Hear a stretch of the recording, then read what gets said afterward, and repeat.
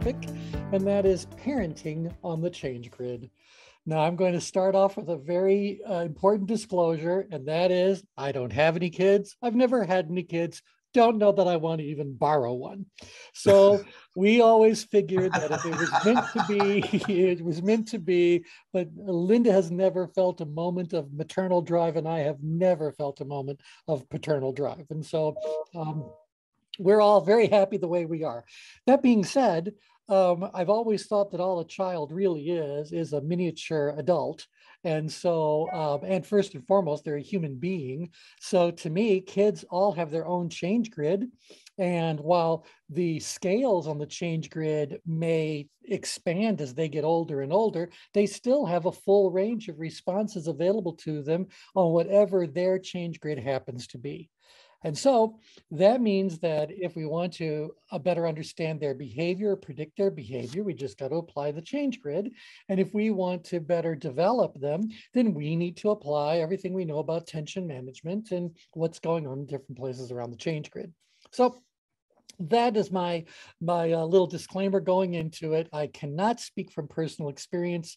I certainly have had my share of nephews and nieces and other people's kids uh, and all that, but you know that's nowhere near what uh, full day every day rearing is all about. So that is my disclaimer. Um, so uh, anyone else want to throw in a disclaimer? Go like we got. No, T. I'll I'll uh, I'll step in for you when you need. All right, thank you, thank you, thank you, thank you, thank you. So uh, to kind of play with that just a little bit, I thought I'd ask you guys a few little orientation questions um, and see if there's any consistency in your responses or patterns in your responses. And so when a child is first born, assume the child is, uh, you know, a typical birth, um, where do they enter the, the world? Where are, where are they on the change grid when they enter the world? Upgrid. Upgrade. Upgrid. How far upgrid would you think they are? Pretty far upgrid. Yeah. Why would that be? Why would that be? Why would they be upgrid? Because they're They've everything no has experience. changed so dramatically. everything's changed dramatically. They've had Yeah. no experience with anything No Mhm. experience with anything. other than other than a womb with no view. Right, a womb, a womb with no view. you are the master of all things pun. That's great. I, I love it. It's a curse. It is a, both a curse and a blessing. It's a blessed curse. there you go. Plus, there's a whole new, based on just what uh, Shags and Dave was talking about. Um, there's a whole new point of orientation that they're trying to grasp with. So you know that whole skin to touch and all those things represent Light. something for them. Right, right. Well, you figure they've never been Hunger. touched before. Feelings Mhm. of hunger. Feelings Right. of baby hunger right then and there. And without getting over Your first shit smooshing against your butt cheeks. Yeah, there you go. Then Somebody slaps you. But if you think about it, the experience of birth for the mother, we already know what kind of, of uh, pain is involved with that and on and on and on. I can't imagine it's a painless experience for the baby. God, that's another thing too. Mhm. You know, you know, it's like I I know guys have been kicked in the nuts, and I know women have given birth, but I don't know any guy who's ever thought a few years later, I think I want to get kicked in the nuts. Right, again." yeah, you know, no, no, that's, uh, Mhm. yeah, that's, uh, yeah, I, I, yeah, right. Yeah. I imagine we've all had that experience. It is very odd. Um, Yes. All right, so I just got to say, you know, I don't know the babies. They don't always cry. I know often they have to do things to stimulate the baby to to take Mhm. that first deep breath and uh, you know get those lungs working. But I have to believe that the the trauma that the mother is experiencing is equaled by the trauma that the baby is experiencing. I don't know. Yes. I mean, for all I know, cramps are a very different thing than feeling your entire body being, you know, ejected. So, uh, anyway, I'm just going like, that has to be an upgrid experience right then and there. It's like you were just floating around in your perfectly warm little place, and all of a sudden, all this stuff starts happening, and it happens all rather quickly. I'm not in the least surprised that that ends up being a very upgrid experience Mhm. perceived challenge i mean it's surrounded by the unknown survival instincts are being triggered uh, in that in that entire process so perceived ability None. Mhm. Yeah. So uh, we end up then with this rather dramatic stress response. Now, that stress response passes hopefully rather quickly within a matter of minutes. I like to know that the crying has stopped and uh, the baby is back in a warm sort of place and no one is tossing it around and all those kinds of things that are happening. Uh, hopefully, it's had some bonding time with the mother by that point in time, maybe even the dad, depending on the choices the couple made so all of that has to now be the the the infant equivalent of downgrid maneuvers. So let's think about the downgrid maneuvers and tell me if you see that there is a, a, a, a, a parallel uh, to what we already know about the change grid. So I uh, normalize it. I Mhm. don't really know that the, the baby has anything to compare it to other than the womb that it was just in. And so Soft, reassuring voice, T. There, there, there. Right, because they're used to hearing muffled voices. I'm sure there's au- Mhm. auditory. That- That's why they swaddle. Right, They right, right. swat- they- they swaddle them to keep them bound up.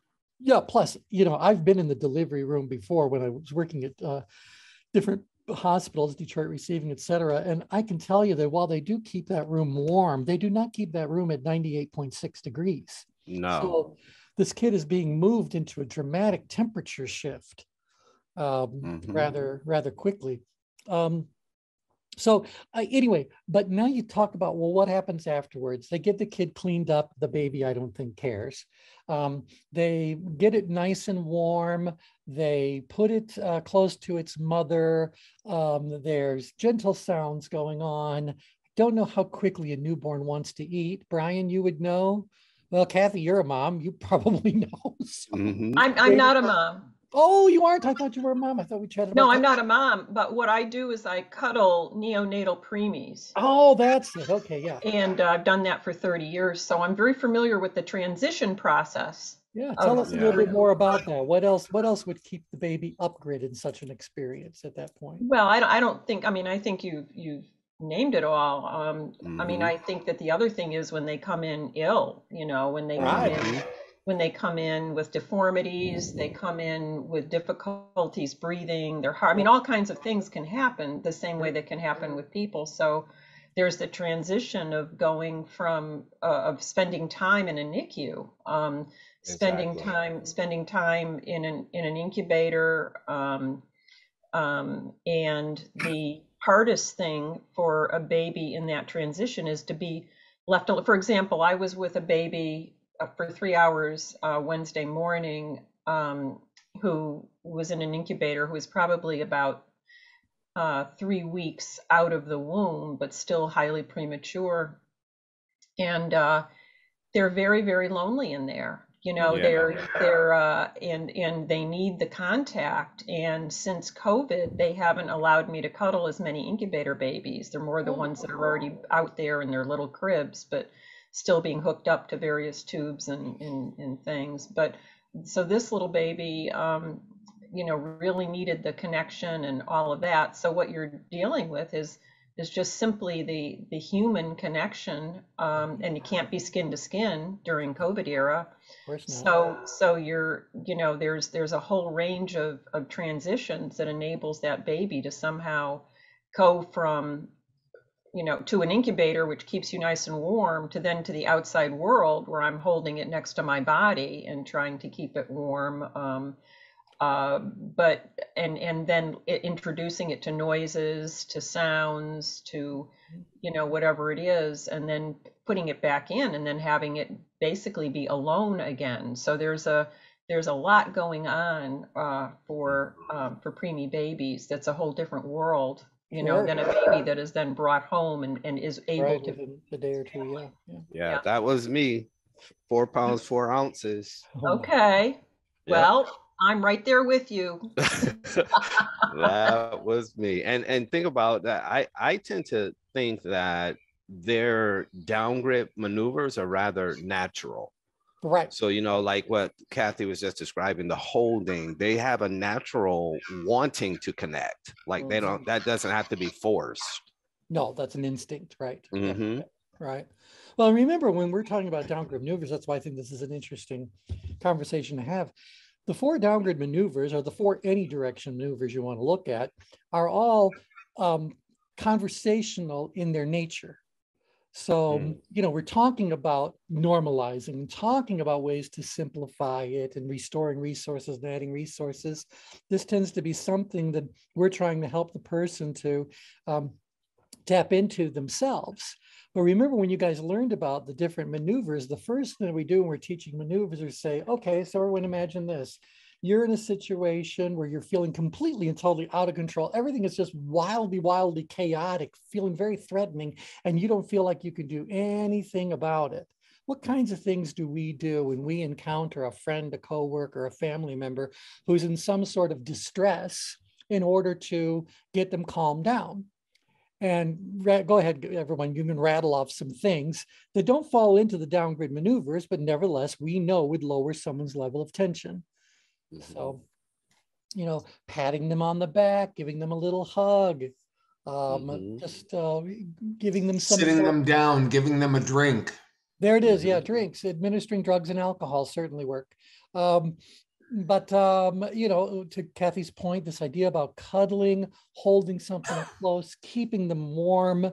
So sometimes when we've got a friend, a family member who's out of distress, they might need to be held. They're just hugged. They might just need to know that you are physically there uh, to support them in any way that you can. Maybe you're giving them something to eat or drink, or whatever the Mhm. case may be. So there are a great many things that we could do that would lower someone's level of tension. Unfortunately, the vast majority of them would be um, inappropriate, perhaps even illegal in a business setting. And so, in a Mhm. business setting, I can't go and hug somebody. I would be reluctant to it, even if they granted me permission to do so. So, I can't really do anything that I would do if it was a personal relationship. Um, I suppose I could administer them some food or whatever the case may be, but in the long run, that's not going to uh, help them apply their logic to get out of the um, emotional state they happen to be in. So it all ends up reducing itself to, well, you can normalize, simplify, add resources and restore resources. That's what you can do. But with a kid, a newborn, we're talking about try to create an environment that is as similar to the one they just left as possible. Isn't that what that whole idea about underwater birthing or when they're when they're sitting in the pool of water? Is that still done or was that a fad that kind of fell by the wayside? No, they still do it. A lot of countries still practice that Yeah. because the so- midwives are more um, a central component than the actual OBGYN in a lot of uh, other countries outside the US. US system doesn't um, support that necessarily. It's still done, but not as prevalent as in other countries. Right, right, right. Well, we're big fans of Call the Midwife. And um, so I think that's England in the, we're probably up to like 1950s. I think that's where they are in their timeline. And certainly you can tell that the midwives are definitely doing the majority of the work involved with Mhm. prenatal and uh, delivery and all that sort of stuff. And then they pull in a physician only if something goes wrong. hmm So uh, that seems to be um, something that's many, I mean, some of us might have been delivered by a midwife. I mean, people in our age range might have been delivered by a midwife or a doula or whatever. hmm Um, okay, so um, yeah, so all these things are done to lower the kid's level of productive tension. We've taken care of new birth. Now let's go to the end of life. At the end of life, um, where do you think you, wh- where on the change grid would you like to be when end of life occurs for you? We'll do it that way. Hmm. Where would you like to be on the change grid when you're, when you're, I would like to be within the green circle or at the PowerPoint. oh, do tell, do tell. Well, I, I, you know, if, I mean, are, I'm talking about right before, you Yeah, know. right. Yeah, yeah, yeah. Um, yeah, I, I'd want to be, I would want to feel the engagement of, of life and the joy of it, but also the ability to, um, to detach in such a way that the, that the, ch- that the shift will be less jarring, you Mhm, know, if mhm, it's, mhm. if it, if it happens to be physically difficult. Um, that the that the shift is like less jarring, but to be able to be at that in that place of of awareness and and um, you know, I for me it would I probably want to be at the on the on the I don't know the outgrid in the outgrid space maybe um, and in, or at the PowerPoint. Hmm That's very interesting. Yeah.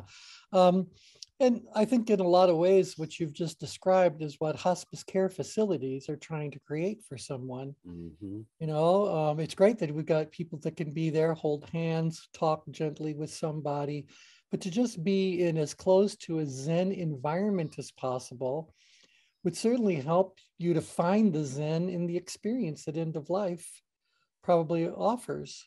Um, I mean, I like that. Yeah. I like that idea. There, was some interesting research about, you know, people certainly don't want to die with regrets, and that's quite impactful. But the research showed that living with regrets is even uh, more impactful. Right. And right, so right. I like that idea, what Kathy was just describing, because even if you're, you know, for someone to hear, you know, words like cancer could be a, almost, they take on like a death sentence because you're dealing with just what we described with the infant, right? The uncertainties, the unknown, and what's going to happen, these kinds of things. So to be in that space, I think helps. And there's a lot of research about the symbiotic relationship between your beliefs and the quality of life at the end of life. Mhm, mhm, mhm, mhm. So, um, tell me a little bit about where on the change grid you personally would like to be.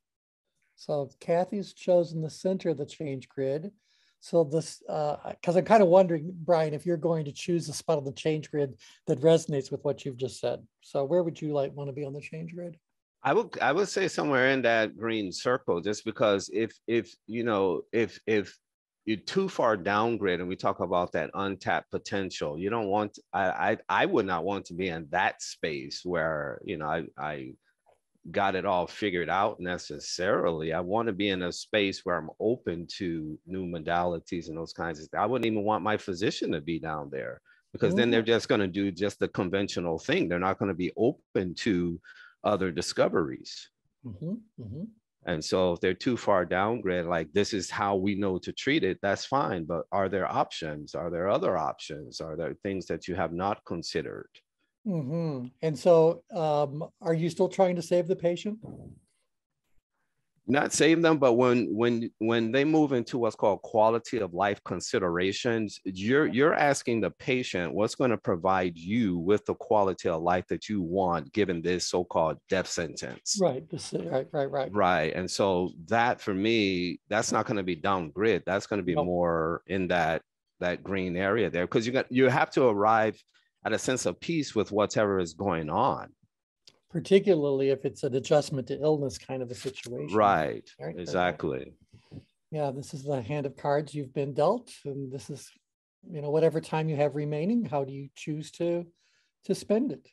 and that's what I uh, like. The the research showed a lot of people have difficulty with that. Like healthcare is built on what they call DALYs and QALYs, and the Mhm. insurance company use this. So DALYs are disability adjusted life years, and QALYs are quality adjusted life years. Ah, And so most of the sickness model that's out there is based on this idea of disability adjusted life years. So if you have chronic conditions, you know, the obesity, uh, the, uh, diabetes, all these lifestyle conditions, then you're going to have a higher DALY than QALY. hmm, And so your insurance rates will be higher. And so, you, you know, and I think it's 83% of uh, Americans are metabolically um, uh, uh, disabled, like they're metabolic, they're they're set up for pre-diabetes and those kinds of things. So already the quality of life issues are already, you know, at a, almost at a breaking point for many people. mhm, mhm. Interesting. Okay, uh, Shags, David, where would where do you think you'd like to be? I like being in the center, but occasionally I will drift to uh, a little bit to the south, just out of complacency. Right. Mm. And Or- at the and when your life comes to an end, where where would you like to leave planet Earth? From the center, from somewhere else? Oh, it doesn't matter. I won't be here to really discuss it. I Well, knew he was gonna say that. Well, yeah. So You know, my, say- I- my, when I'm dead, I'm donating my body to a body farm so that animals and critters can drag it around and insects. oh, and, there you go. You, you know, so I really, honestly, it, it doesn't matter. okay. Well, I'll give you. I'll. Uh, I'll give you guys. Most, some- most likely, I'll be very outgrid screaming. "Ah, I'm not ready." Well, uh, now that would be upgrid if you feel like you have no control over it. Upgrid, So yeah. that'd be upgrid. Now, outgrid is also interesting because that would be you want a, a life and you want death to come to you in battle. This is the Klingon mindset Mm. out Okay, here. so I want to come very quickly at night. right. And so people who just want to slip away in their sleep are the ones that are very far down grid, Mm. You know, and uh, the, The people uh, who nobody ever heard from again are very far in grid. right. They just disappeared because we really, they disappeared while they were here. so So would really that mean notice. that a center is like where people die naturally from like just I natural actually- I- agents causes, I think or is that that the- down? No, I think the majority of people who are just routinely dying each and every day are probably, well, how about this? With any mercy in my heart, I hope they're very far down grid. I hope they slip away in their sleep. Ah, So- gotcha. You know, that that would be it. No one needs to have the final moment of your life be the discomfort of a heart attack or the, yeah. or right or the confusion of a stroke uh, or you know something like that. It's like you know if i gotta go and i can't go from my my place where and i'm going to use some other words in just a second. If i could leave the planet in the center well wouldn't that be wonderful? Because that's going to feel a, very different than if i just slip away. But if i have to choose between an upgrid an outgrid a downgrid or an in-grid final moment i'd like it to be a downgrid one. Mm. so if those are my choices. Now, it's interesting going back to the center of the change grid because a lot of things that Kathy said early on resonate with a great many things that um, we may have read or seen presented in a movie or a television series, probably more on the sci fi side of things. But people use other words for this experience. They kind of believe that, that some of them, uh, storylines I could share with you, would be ones where they believe that uh, the human body is nothing more than a form of transportation, and the actual you is an energy form. And we might call that the soul. Others, you know, depending on which what you're reading or watching, are going to have other names for it. But basically, the thought is is that you continue to exist in a different state after uh, your use for this physical body is over and done with. And you hear a lot of that even in in traditional religious framing around death. You know that they've they've gone on, they've uh, they've been released. You know uh, where some of the uh, sci-fi things would say they've ascended to whatever the next level happens to be, or they've evolved into whatever it is. They've shed their worldly body. You mm-hmm. know, we, we hear these things all the time. Those kinds of descriptions all resonate with what I think happens in the center of the change grid, because I don't think, if we can get metaphysical about it for a moment, I don't really think that's where you die as much as you transform into some other state. Where if you're really far mm-hmm. upgrid, outgrid, downgrid, or ingrid, I think you died. I think you died. That's why I like that circle though, because you know, when I look at what I'm specifically interested in in coming to the States with this idea of longevity. So, you know, I'm only 52, but I look at these ideas of especially, you know, from being a, a preemie. So when you're a preemie baby, you have that you tend to have developmental issues.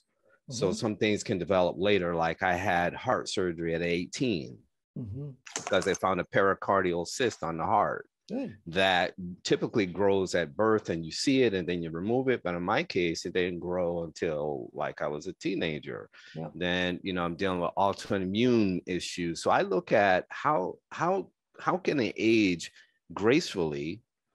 Uh, because there's nothing scientific that I've seen that said just because we get older, you know, that we have to be resigned to the couch and we can't get up and those kinds. So taking care of the body to me is in that space and and and facilitating quality of life is in that space to me, like in that that green circle somewhere. Mhm. Because again, if I'm I'm I'm too too far down grid, then there's no room for for for growth because then I I kind of got it, and then I'm just gonna go from one fad to the next fad. And so I try to be at a space where I can be open to, okay, yeah, I have these issues and I'm dealing with them. Yep.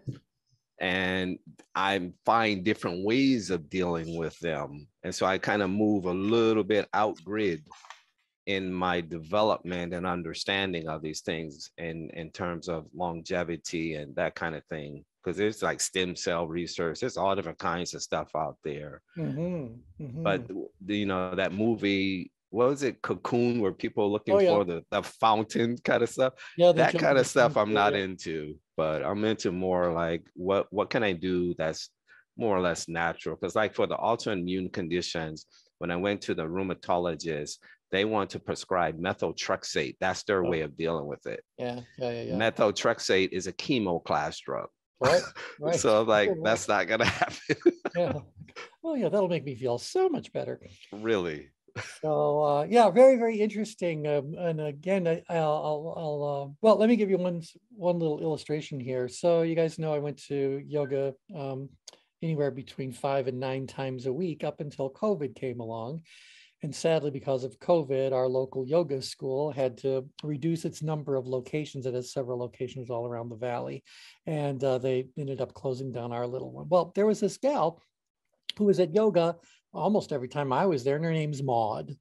Now, Maud was probably 95, 96 years old. Um, and she would be there at yoga. She'd be doing all the little movements. Yeah, she didn't have as much balance or flexibility or whatever. Range of motion was certainly different, but nevertheless, she was there and she was doing her version of every single uh, um, pose we were doing. Um, now, not only did she go to yoga, she rode a bicycle to yoga from her house every single day. So imagine that here she is, this elderly, quite frail in many ways. She couldn't have weighed 100 pounds. Um, and there she is, staying vibrant and alive.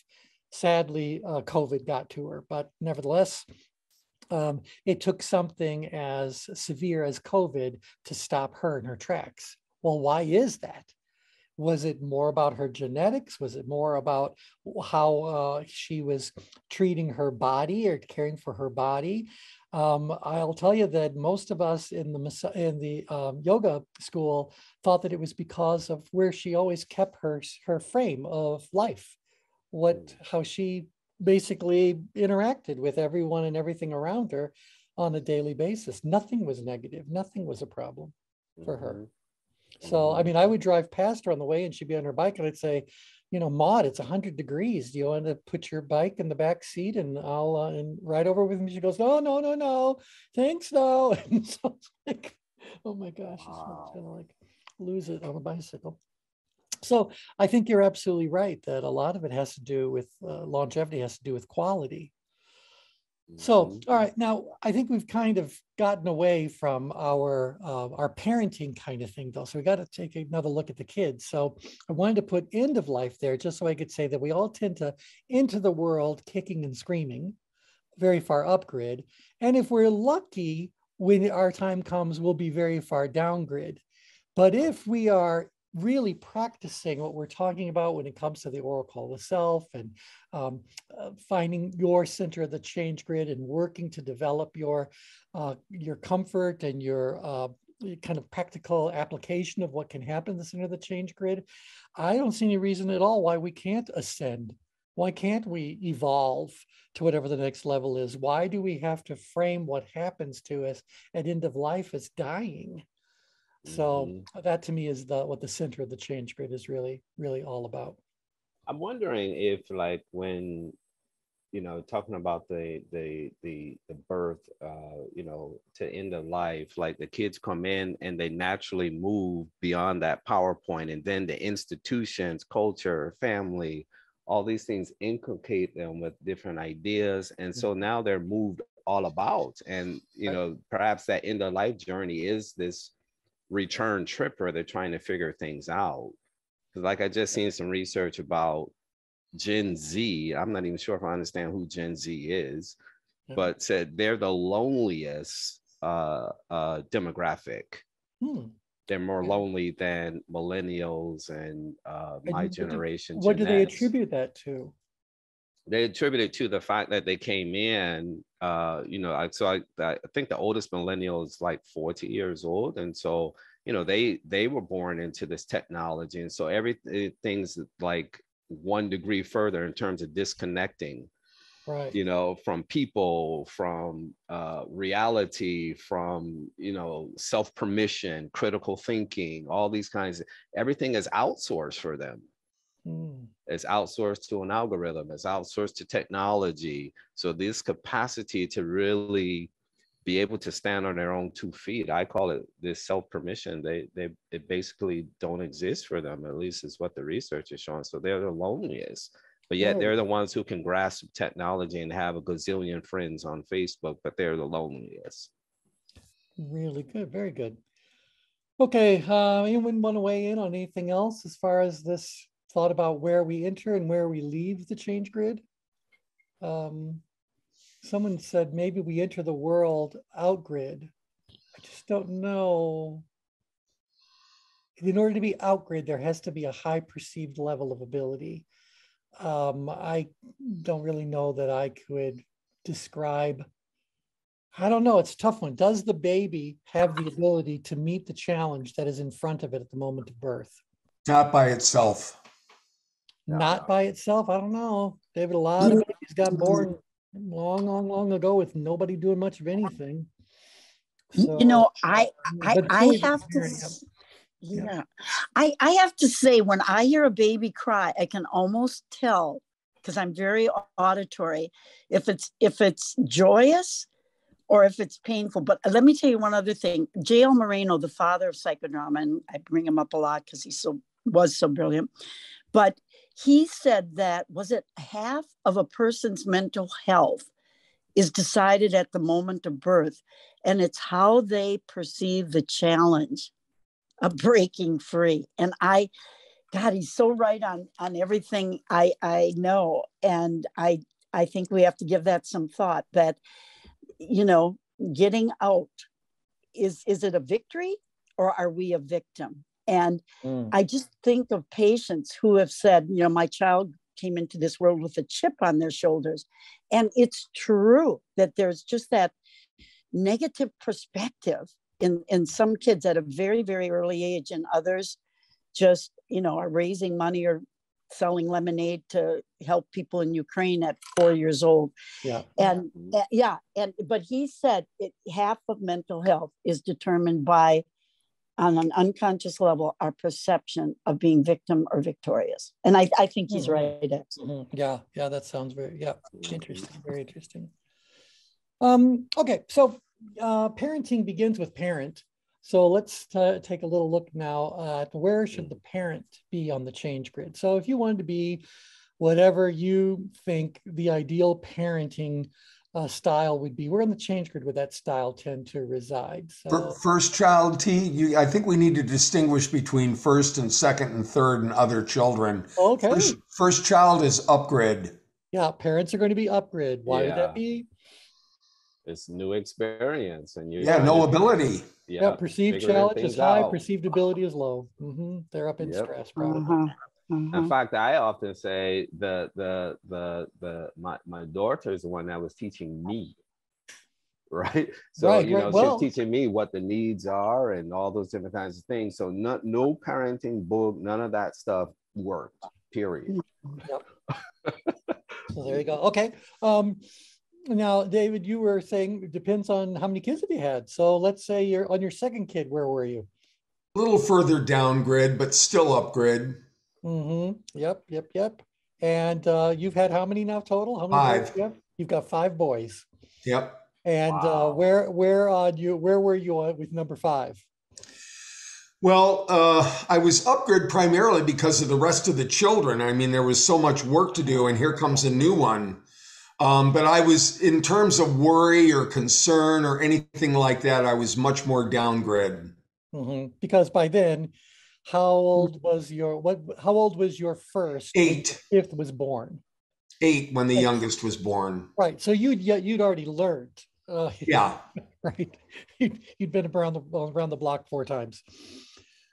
So uh, all right, and so um, so that that kind of makes sense as far as people getting accustomed to uh, to parenting or what parenting overall represents. Where on the change grid would you say a parent can parent most effectively?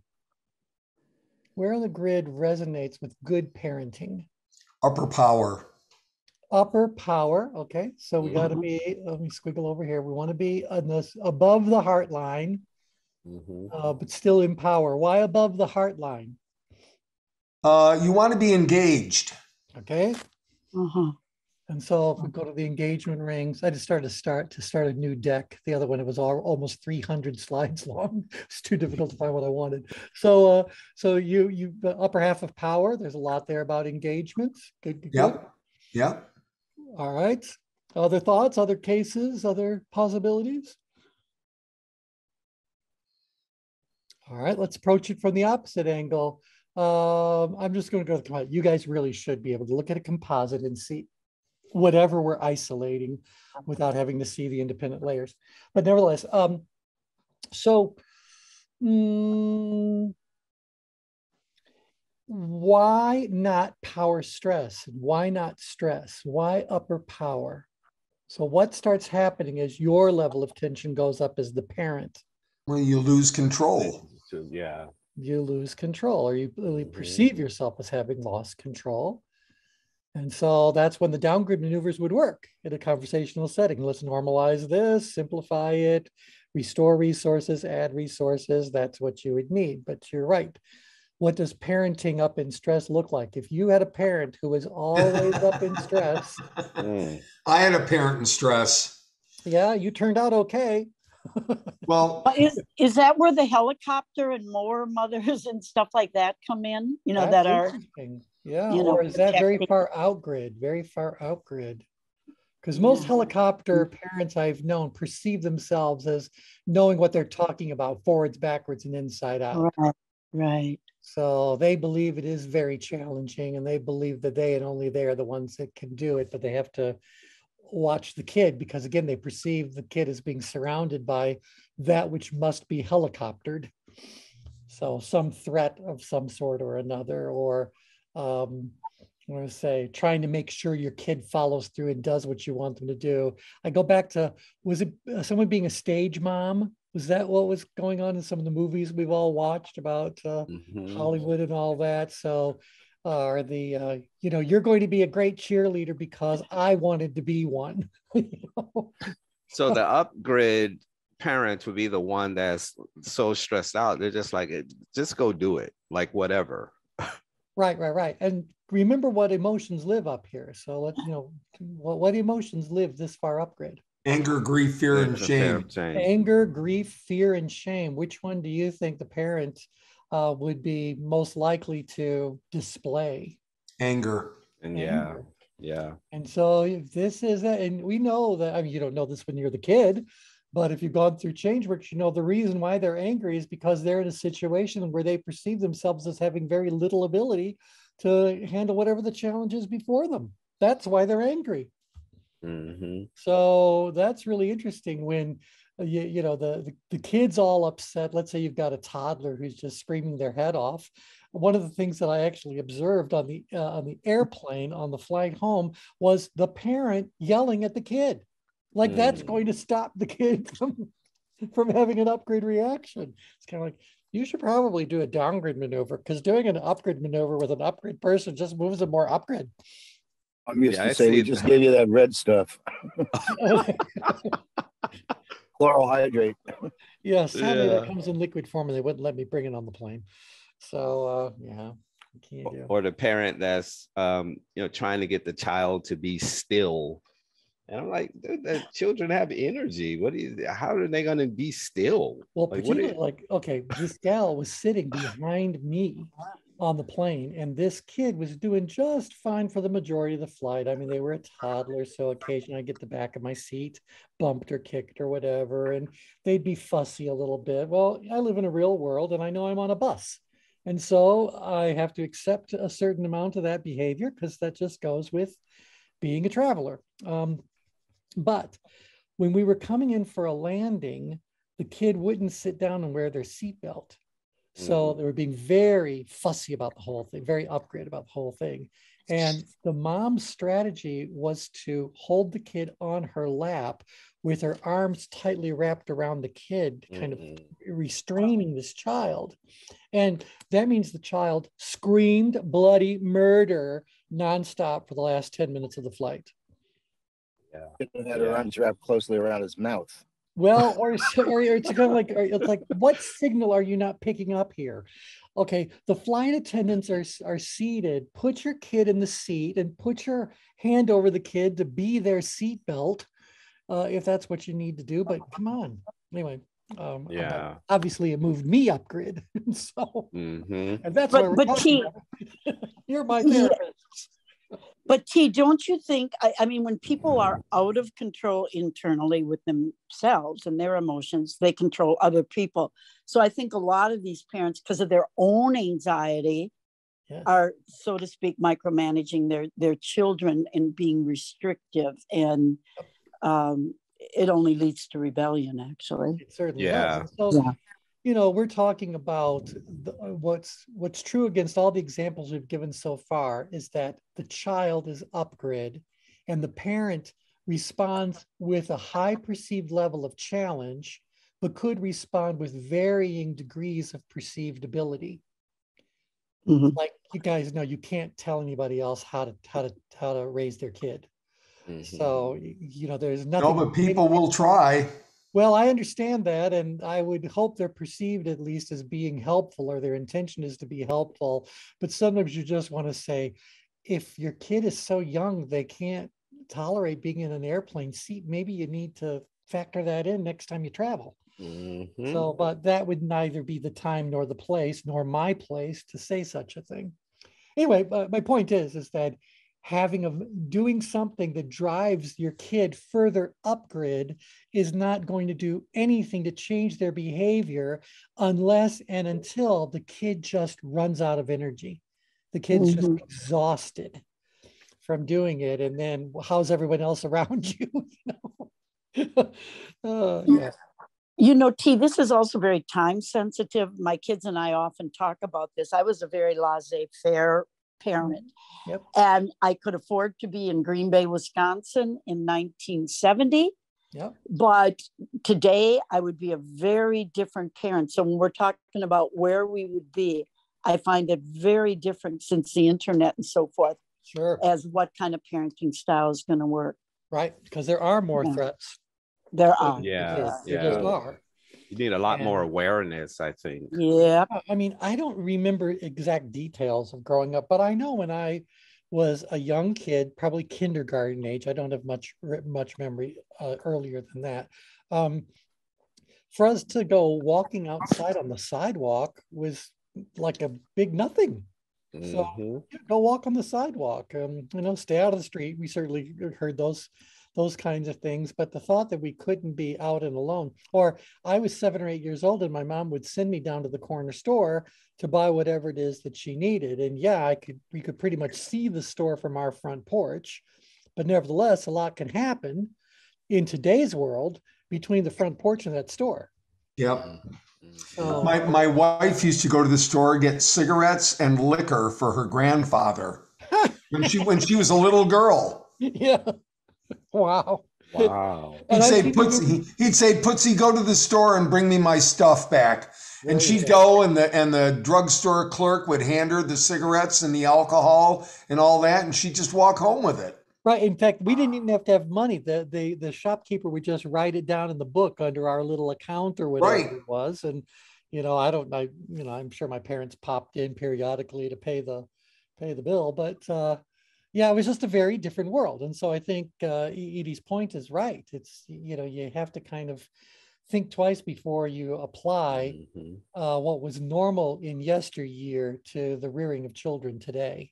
Mhm. So yeah, no, but anyway, go, going on. I think it's interesting that Edie, you you mentioned your or you labeled yourself as being a laissez-faire kind of a parent. Well, a laissez-faire parent was someone who would perceive themselves as having adequate or abundant ability uh, because the challenge is simply no greater than you allow to you allow it to be. So you have a decision when it comes to kids doing whatever they're doing. Is that a problem? Is that not a problem? Or is the behavior even encouraged? So Mm. that's three very different perceptions of what's going on in the world around you. So Edie, you want to tell us a little bit more about what it would have been like to be raised by you? You know what? I, and and it was how I was raised. Right. Um, they knew what the boundaries were, and as long it was like flying a kite. As long as you're being responsible, I'm going to give you more rope, and you can do whatever you want. And Yep. they never pushed it, and neither did I. Very I had all the freedom in the world. There was no, yep, and it worked. And all of my siblings have turned out well. My kids have, but it was basically, and they didn't want to lose that freedom. They Mhm. liked having it. Right. And so they did what And- was necessary to earn it or keep it. It was a mutual respect, you know. And and the other thing, I was just gonna, I think I mentioned with this group with Richard Brandon, I had him in my book Winning, and his mother took him. Um, I don't know, five miles from home or a couple miles from home when he was like five, six years old, and said, "Find your way back." And so I'm concerned that this day and age, um, we can't do those things that build that kind of entrepreneurial spirit, that independence, that problem solving skills. You know what I mean? Yep. Yep. and and and so that's that's kind of scary too that we can't and the other thing is i had control as a parent there was no internet there was nobody else influencing i was the influence and Mm. now parents are just stripped of the amount and percentage of control they have over their kids because there's so many E- yeah Edie, Edie, what about television? Yeah, my dad, we were the last. We weren't the poorest people in town, but we were the last people to get a television because my dad thought it was the beginning of, and we saw what happened. Um, but uh, I had to go to the neighbors to watch, you know, My Little Margie and stuff like that. and your kids. but remember, it was I Love Lucy television. First of all, television. I, I, you know, I mean, I remember when Elvis Presley wiggled his hips, and Yeah, yeah. Green Bay. Wisconsin, yeah, in Algoma, Wisconsin. Nobody would watch that. That was just way too suggestive. It, So yeah, it had to be very wholesome family values because Yeah. remember back in the early days of television, television was almost completely run by the advertisers. Uh-huh. And so you were, all- it was soap powder or it was, you know, some kind of household product or whatever the case may be. Those were the early Mhm. days. And they wanted to know that they had wholesomeness was what it was all about. Mhm. Interesting. Exactly. So where's the Um, overprotective parent? The over, well, what would the overprotective parent perceive? Would they perceive a little or a lot of challenge? A lot of challenge. A lot of Yeah. challenge, but Would little re- ability. Would they perceive themselves as having a little ability or a lot of ability? A little ability, I would imagine. Mhm. In which case Mhm. they would be up in stress. That could be Okay. productive, but it's coming out of a place of stress. But they could also be very far outgrid with a very high level of ability, and they could be overprotective because you are their clay to mold as they into whatever image they want. So you know how some um, some parents are so so so restrictive, not because they themselves are afraid, but because they have decided what you as a human will do, will be allowed to do, whatever it is. So this is the bully parent versus the reactive parent. That's how I would kind of frame it. Yeah, see, I had a little bit of both. Yeah. yeah, 'cause Well, there's also know, cultural elements too. There's also yeah yeah it's had a little bit of both from both sides and so i think that that was the um the the the catalyst of all the resistance because i would butt heads when that kind of thing happens. i like to be free to discover and learn and you know we could we didn't watch tv we could not go outside we had to read and read dictionaries and prove that we had command of the words so it was that kind of um, almost a pretension that you you have to show, you know, that you're you're part of this family kind of thing. Yep, yep, yep, yep. It was Well, uh, and, and certainly i think again culture has a lot to do with it. So Yeah. um, for example you know without being overly stereotypical we still know how, how different cultures are presented on tv um, an asian family puts i'll ask you a high or a low value on on education? Yes, very high. very high in India, very high. We've been watching Bob Hearts Abishola. Have you guys seen that show? No? Well anyway, What's it called again? Bob hart's abishola Oh, and it's about this guy who owns a sock factory in Detroit, of all places. And he falls madly in love with a nurse from Detroit Receiving Hospital, and she's from Nigeria. And she has a Mhm. young son, and uh, you know the the conversation at home has uh, is always focused on: Are you doing? Did you do your homework? What grade did you get? It had better be an A. And so uh, there's just a very big cultural difference between watching Bob, who was born into a regular Detroit family, uh, and you know he wants the son to have some adventures because the, the the kid wants to dance. He's like a great, great uh, street dance kind of a guy, and um, he wants goes, well, go do that, go do that. And of course, Abishola is like, oh no, no, no, no, no, no, no, no. There's no Mhm. time for that. You Yeah. you know, you need the education. So I think there is a lot that's cultural, but nevertheless, that to me is someone who's parenting from a place where they believe a test is afoot, that the child will always push, the child will always try uh, to get what the child wants. And so boundaries have to be put in place and have to be very, very tightly um, um, controlled. And those things have an impact on a child's life. I'm sure Edie can talk to that because, like, I met a physician uh, from India and she came here, similar situation to mine when she was younger. And so she quit medicine, uh, clinical medicine. Mhm. And she said she always envisioned herself being literally, she said, the 1% of India uh, culture who did not uh, go to medical school or go into engineering school. Those were the only two choices she had Yep. literally. And so Mm. now she's she's at her age at 44, she's now on this path of looking to free herself, you know, because then there's, you know, the cultural value of women and, you know, those kinds, she's the eldest. And so all these things impacted her life over the years that she's unlearning some of it now. hmm hmm hmm Yep.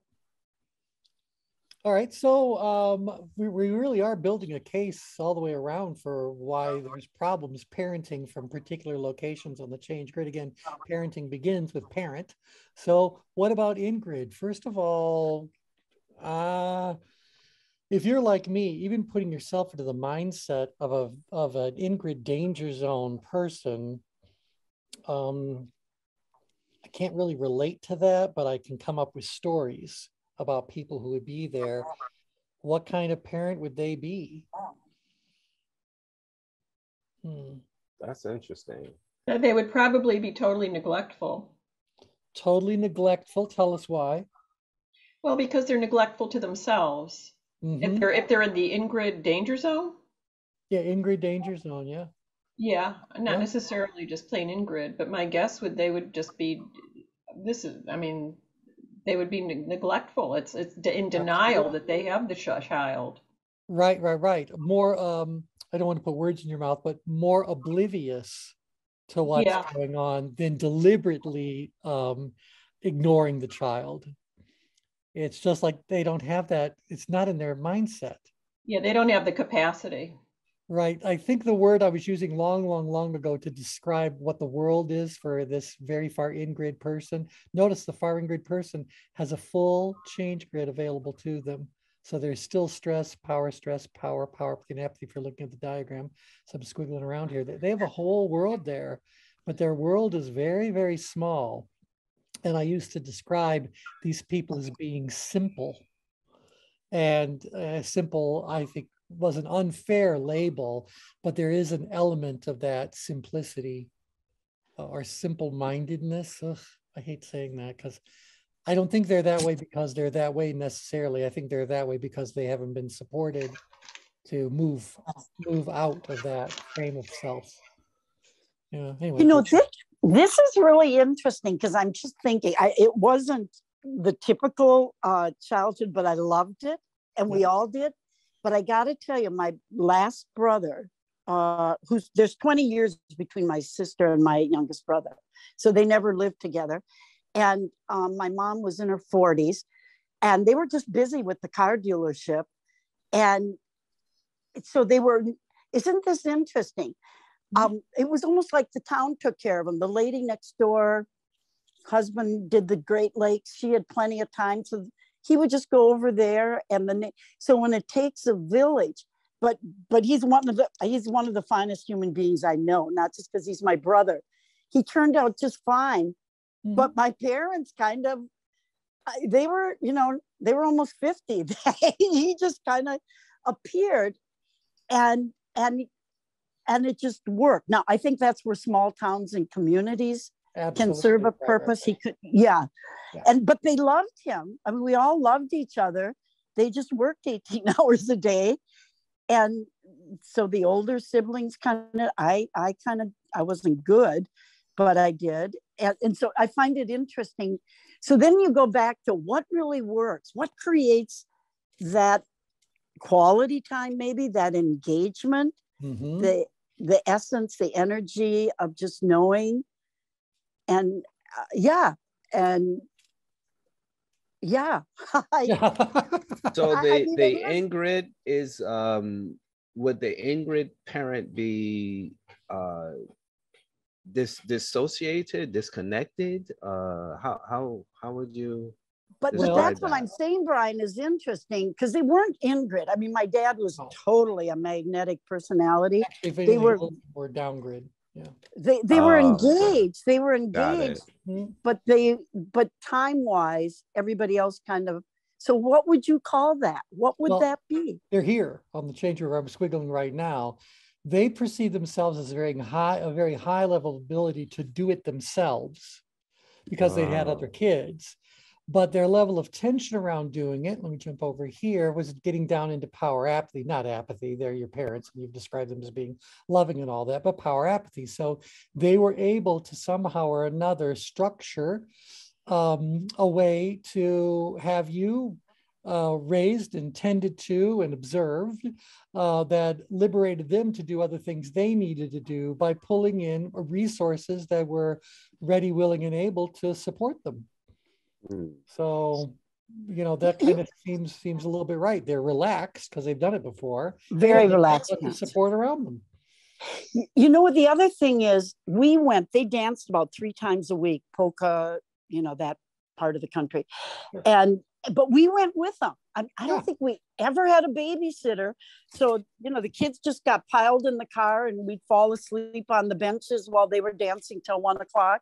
So, so, so, you know, we were always a part of everything. I mean, yeah, so it's, it's, yeah, it's interesting. It's It's how how how would you describe then something like I remember Huh. that story um, from homeless to Harvard. Have any of you ever seen that? Oh, what's that? Uh-uh. story? uh-uh. Uh, I her name is Liz. I forget her surname, but she's now a professor and is titled From Homeless to Harvard because she lived on the streets. Her mom was a drug addict. And so now she's a, you know, she went from shelter to shelter and now she's a professor. But I remember seeing her speak and she was talking about how much, you know, her, her mom would you know try to provide for her but she was a drug addict so she would see her mom using the needle and all these things and um, you know, and she get help from shelters, and that's how she got into school, and then won a scholarship to Harvard and became a professor. And she was talking about how much she loved her mom, and